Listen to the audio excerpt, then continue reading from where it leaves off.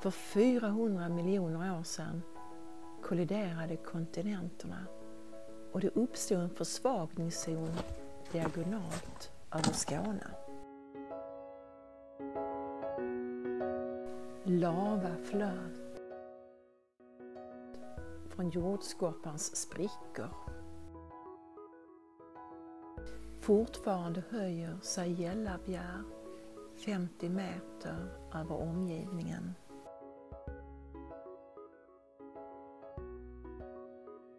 I Skåne finns mer än 100 slocknade vulkaner.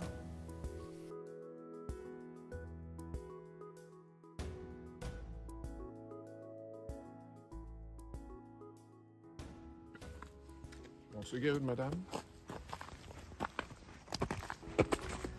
Gällabjär är en av de få som fortfarande har formen av en kägelvulkan.